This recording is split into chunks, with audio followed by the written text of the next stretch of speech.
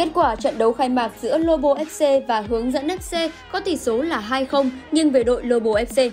Đúng như dự đoán, trận đấu đầu tiên diễn ra đầy máu lửa và kịch tính, hai đội giằng co nhau từng khoảng trống trên sân. Trong suốt trận đấu, cầu thủ mang áo số 4 là Bùi Quốc Khánh của Lobo FC thi đấu cực kỳ nổi bật với những pha đi bóng nhanh nhạy và khéo léo, xé toang hàng phòng ngự hướng dẫn FC với một cú đúp bàn thắng vô cùng đẹp mắt. Ở chiều hướng ngược lại, hướng dẫn FC sau khi nhận được hai bàn thua chóng vánh đã vùng lên mạnh mẽ, thể hiện một bộ mặt hoàn toàn khác. Nhưng một phần do nóng vội để san lấp tỷ số nên khâu dứt điểm thiếu đi tính chính xác. Trong cuộc, phần thắng nhưng về đội Lobo FC đầy thuyết phục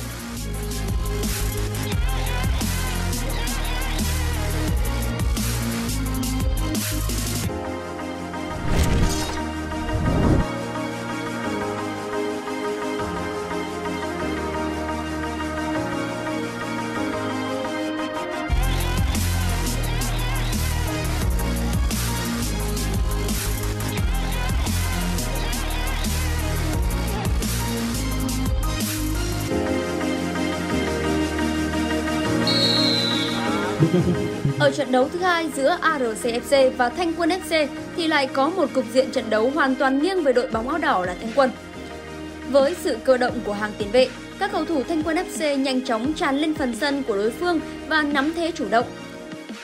Đứng trước sức ép quá lớn của đối thủ, ARCFC nhanh chóng vỡ vụn khi nhận đến 10 bàn thua đến từ các chân sút là Lê Đại với 4 bàn, Tuấn Hiệp 3 bàn, Hồng Quang 2 bàn và Văn Toàn 1 bàn đội bóng mặc áo màu đen cũng có được cho mình 4 bàn giành dự với các pha lập công của Huỳnh Lân, Nhật Thiện, Như Hoàng và Văn Mừng. Trận đấu thứ hai của ngày khai mạc giải đấu khép lại với tỷ số là 14 nghiêng về thành quần FC là hoàn toàn xứng đáng. Những ngày thi sắp tới hứa hẹn sẽ vô cùng kịch tính và quyết liệt. Video clip tiếp theo sẽ được gửi tới quý vị khán giả trong thời gian sớm nhất. Xin cảm ơn và hẹn gặp lại!